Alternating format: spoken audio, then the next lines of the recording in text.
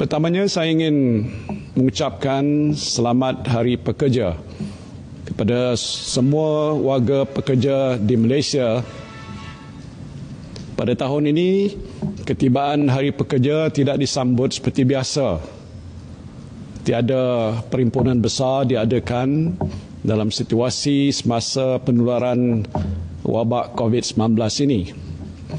Dan selain itu, kebetulan pula Hari Pekerja tahun ini jatuh pada bulan Ramadan. Dengan tren kes dunia sedia ada, wabak COVID-19 dijangka akan berterusan untuk tempoh masa yang agak lama. Ia tidak akan berakhir dalam jangka waktu yang terdekat. Walaupun tiada sambutan Hari Pekerja 2020, peringkat kebangsaan pada tahun ini, sumbangan dan pengorbanan para pekerja sektor awam dan swasta selama ini amat dihargai oleh pihak kerajaan.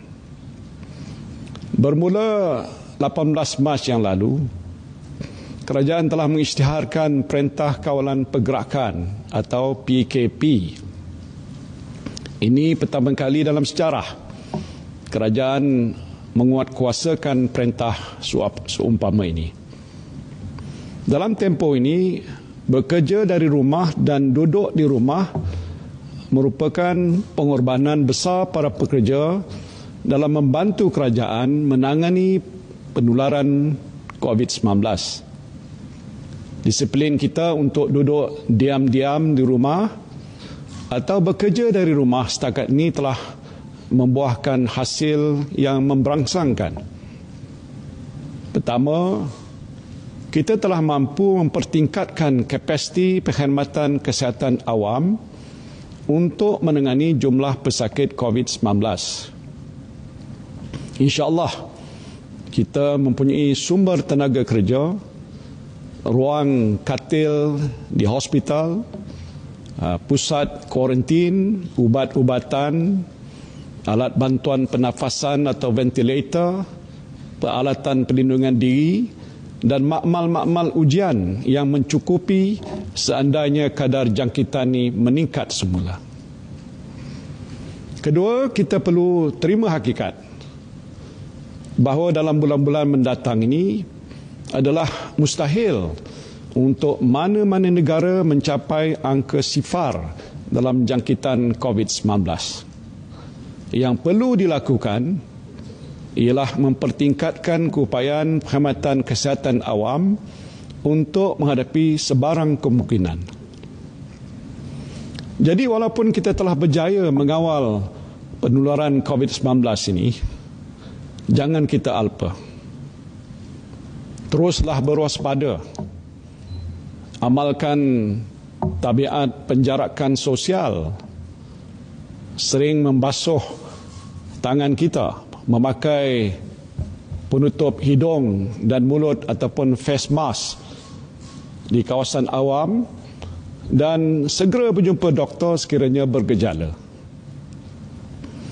Ketiga, kita mempunyai lebih banyak kawasan zon hijau berbanding zon merah.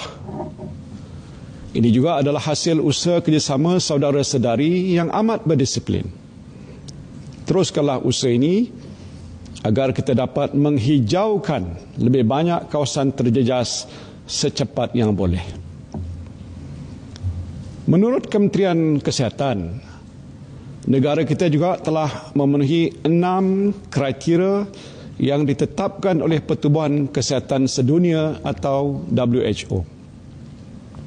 Pertamanya ialah kawalan sempadan negara kita telah diperketatkan untuk mengelakkan kes import positif COVID-19 ini berlaku.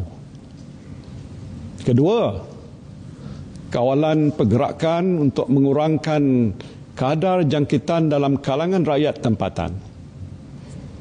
Ketiga, peningkatan keupayaan fasiliti kesihatan.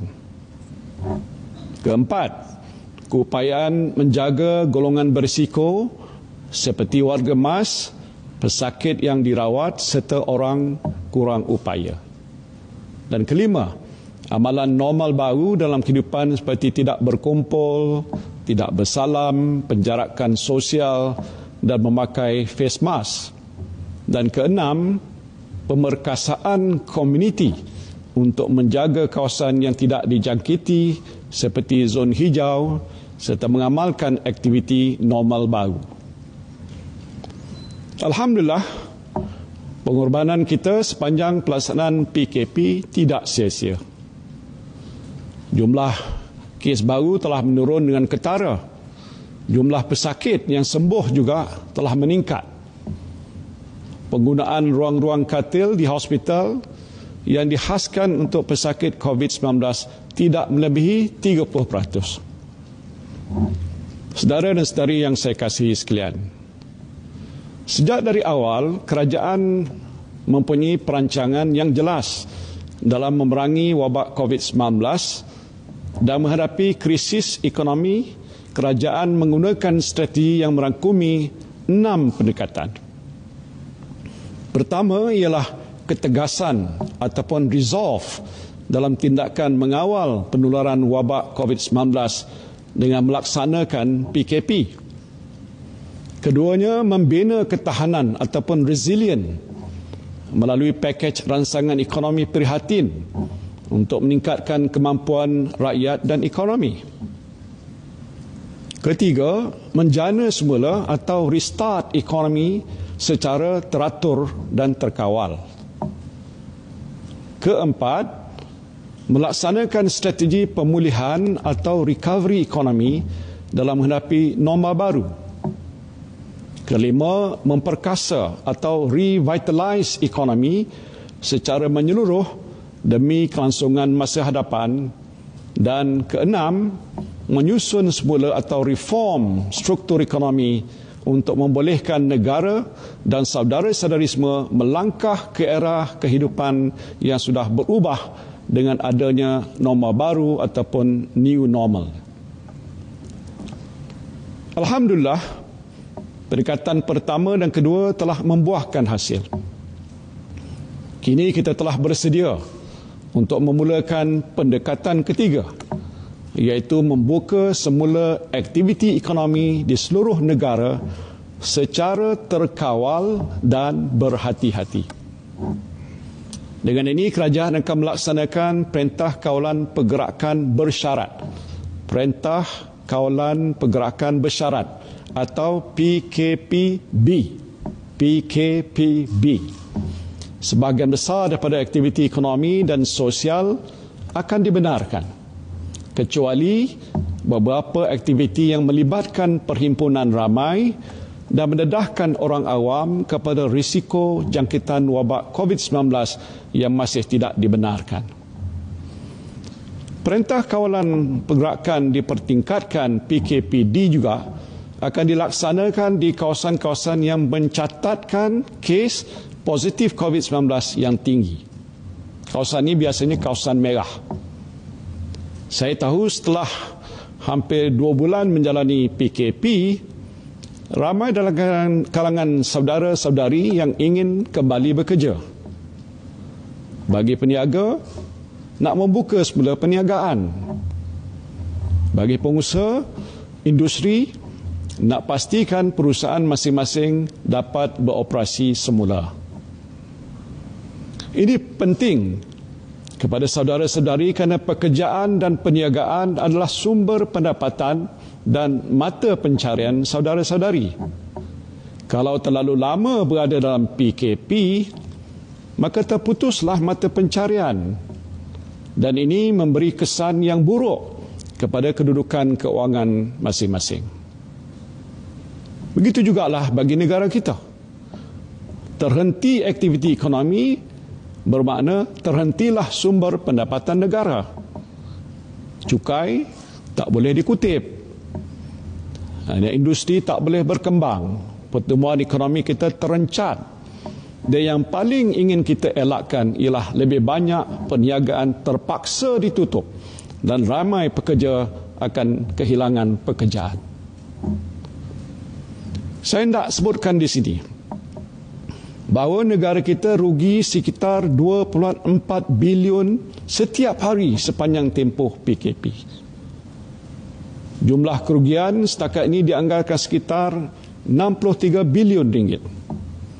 Dan jika PKP berterusan untuk tempoh sebulan lagi, negara kita akan kerugian 35 bilion ringgit lagi menjadikan jumlah keseluruhan kerugian kita 98 bilion ringgit, hampir 100 bilion ringgit. Pada masa yang sama, ramai juga yang agak bimbang jika PKP ini ditamatkan.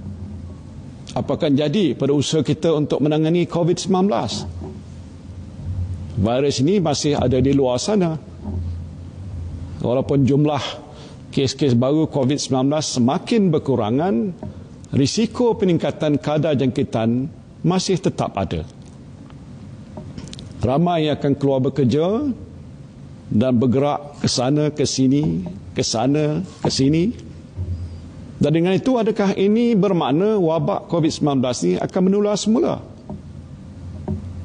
Jadi saya sedar, saudara-saudari bimbang. Saya pun juga bimbang. Dan memang telah pun berlaku di beberapa buah negara lain. Apabila lockdown ini dihentikan, jumlah kes-kes positif COVID-19 meningkat semula dengan mendadak. Dan ini mesti kita elakkan.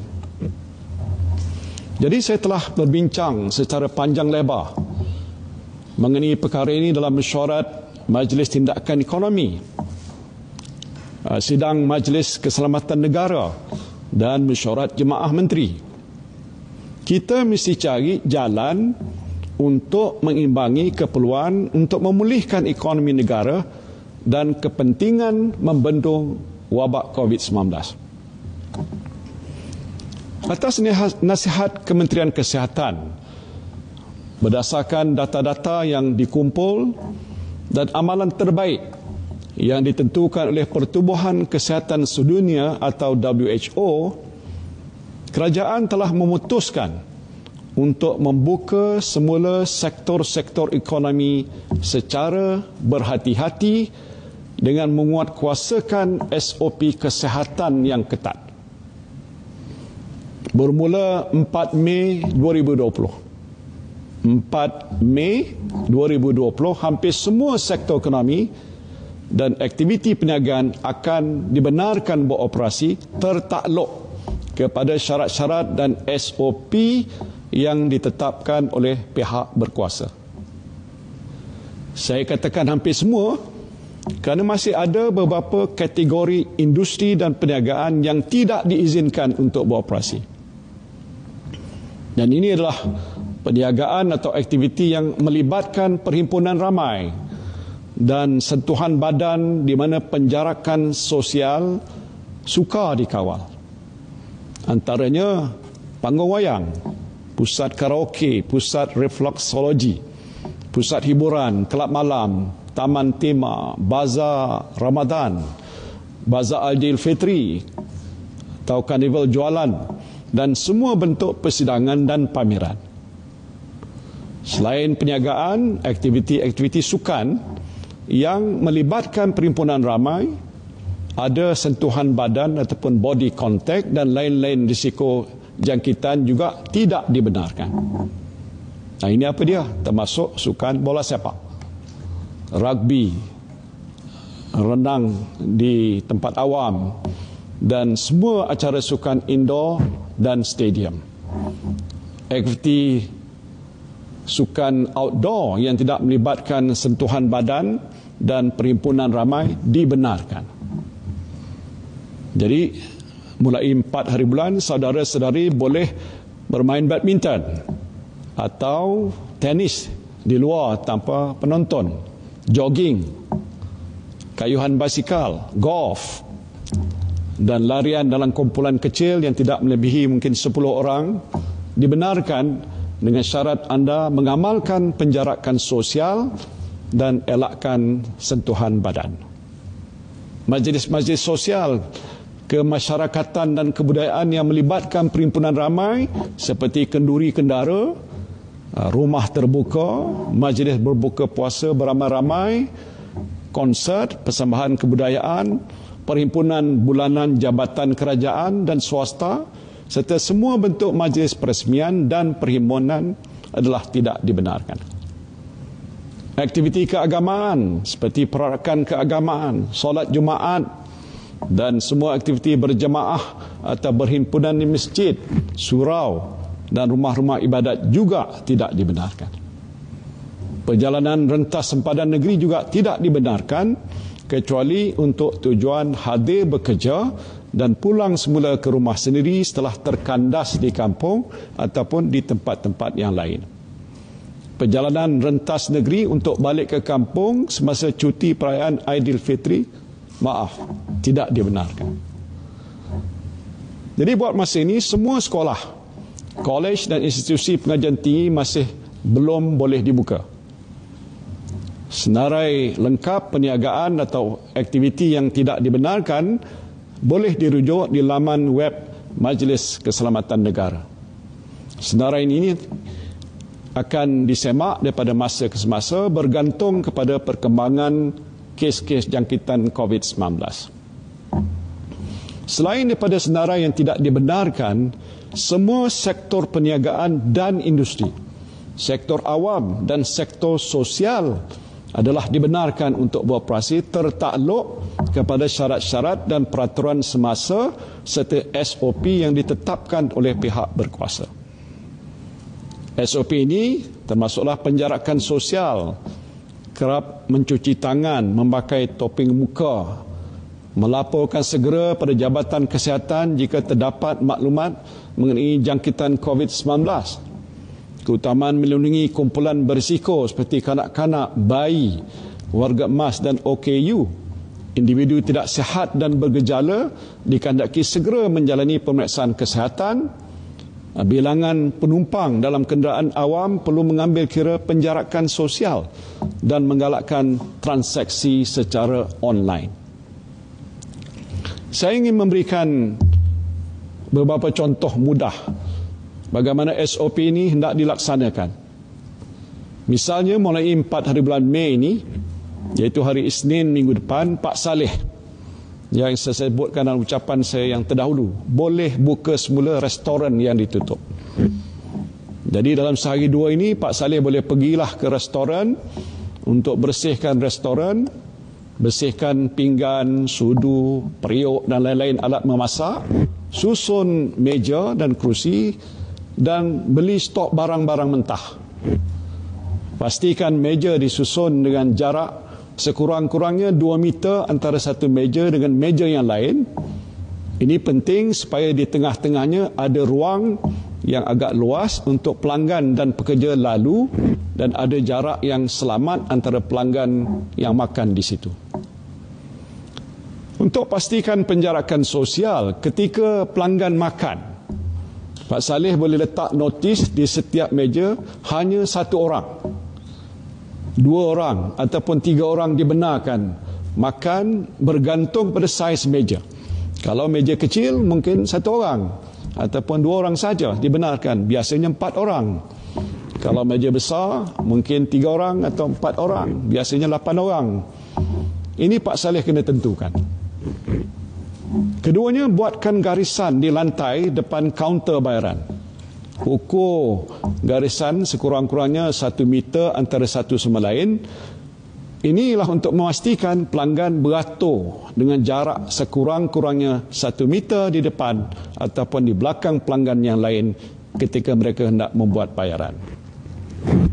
Ketiganya, sebagaimana biasa, sediakanlah hand sanitizer di kaunter bayaran. Pelanggan yang dah bayar, boleh gunakan hand sanitizer ini untuk bersihkan tangan. Sediakan juga lah sabun ataupun hand wash yang mencukupi di tempat basuh tangan. Ketiganya, beli penyembur pembersih meja yang mencukupi. Setiap kali selepas pelanggan makan, beritahu pekerja supaya bersihkan meja cepat-cepat sebelum pelanggan lain duduk di situ. Keempatnya, beli face mask. Face mask macam ni beri kepada pekerja dan pastikan mereka pakai topeng muka ni atau face mask ni setiap masa. Pak Saleh pun kena pakailah face mask tu. Kelima, pada hari pertama restoran dibuka seboleh-bolehnya periksa suhu badan pelanggan sebelum dia dibenarkan masuk ke restoran. Boleh guna alat pengimbas suhu yang sesuai untuk periksa suhu badan pelanggan. Keenam, catat nama dan nombor telefon pelanggan. Nama dan nombor telefon pelanggan serta tarikh dan masa mereka datang ke restoran Pak Saleh tadi.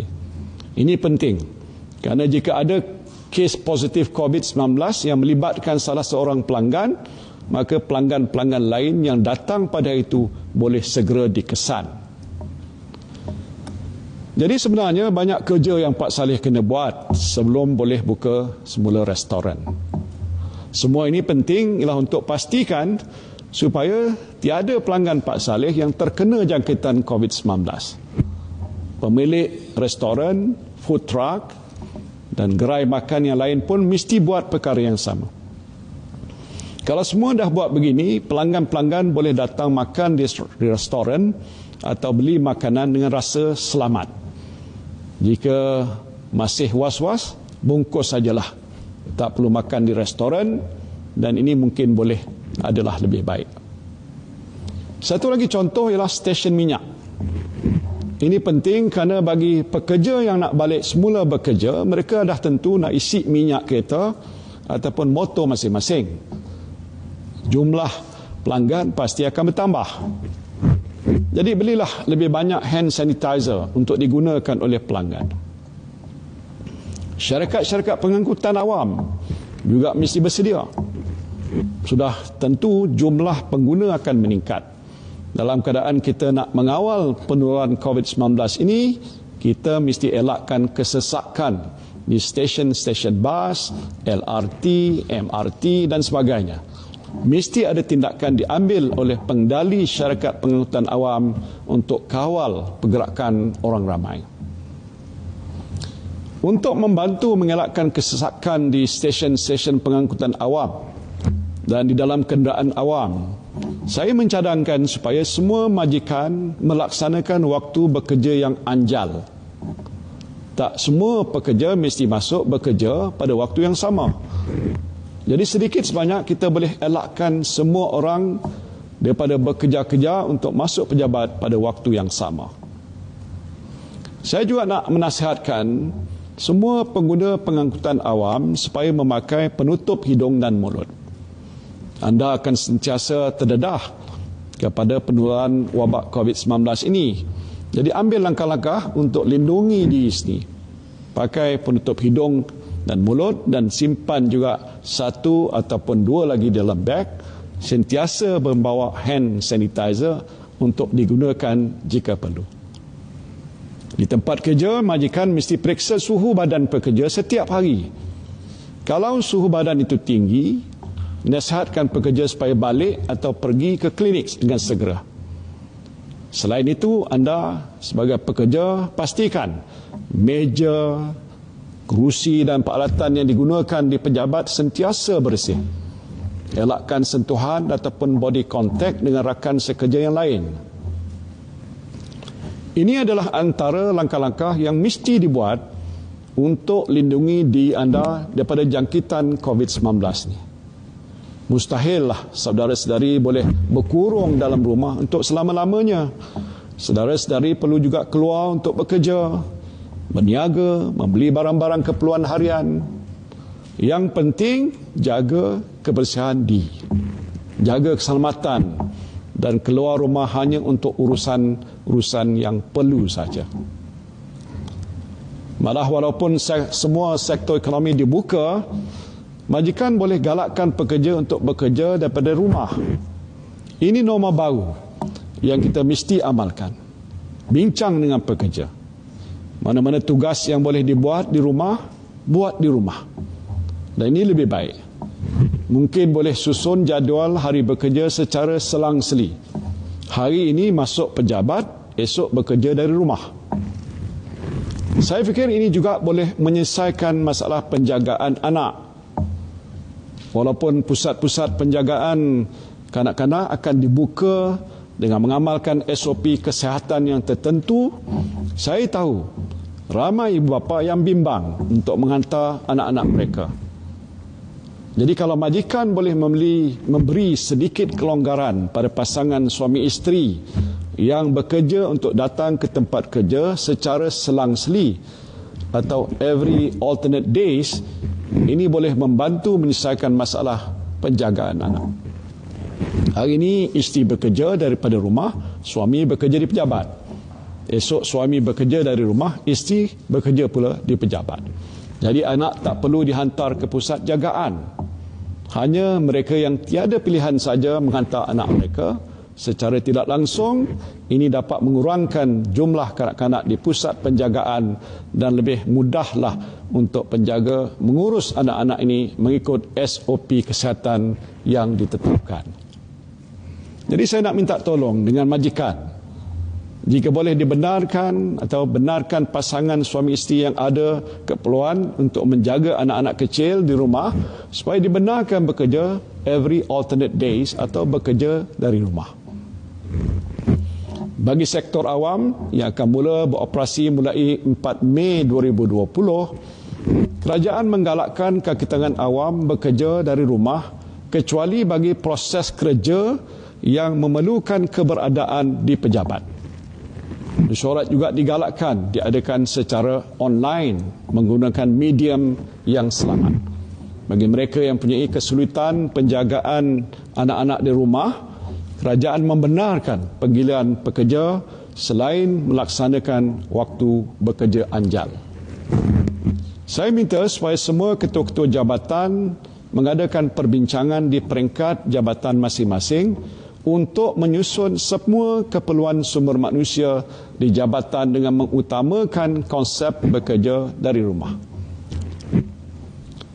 Saudara dan saudari yang saya kasihi sekalian, saya faham saudara-saudari agak bimbang apabila sektor-sektor ekonomi kita mula dibuka. Ramai yang akan keluar rumah untuk bekerja. Mereka akan berada di mana-mana, di jalan raya, di stesen LRT, di stesen minyak, di dalam bas, dalam Grab, di restoran, di pasar raya dan di tempat-tempat lain. Virus COVID-19 ini tetap ada di luar sana dan risiko terkena jangkitan sentiasa ada. Saya juga bimbang kali ini. Apapun jangan panik dan kita jangan mengalah. Saya yakin dengan kemampuan para petugas barisan hadapan kita untuk menjalankan tugas mereka membendung wabak ini. Tetapi yang lebih penting ialah diri kita sendiri. Tanggungjawab kita sendiri. Jaga kebersihan diri kita. Jangan keluar rumah kecuali jika perlu. Patuhi SOP yang ditetapkan pada setiap masa. Pakai penutup hidung dan mulut bila keluar ke tempat awam bawa hand sanitizer. Seboleh-bolehnya jadikan bekerja di rumah ini sebagai amalan normal baru. Anda yang merupakan ketua keluarga ketua masyarakat juga mesti memainkan peranan. Nasihat anak-anak. Nasihat anggota masyarakat supaya sentiasa berhati-hati.